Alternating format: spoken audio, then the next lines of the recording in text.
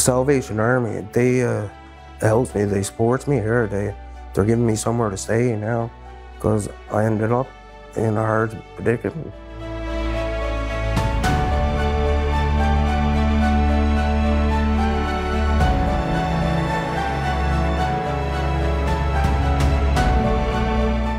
I had nowhere to go.